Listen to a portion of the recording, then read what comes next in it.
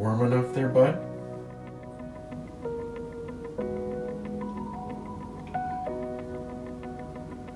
You have grill marks on your belly.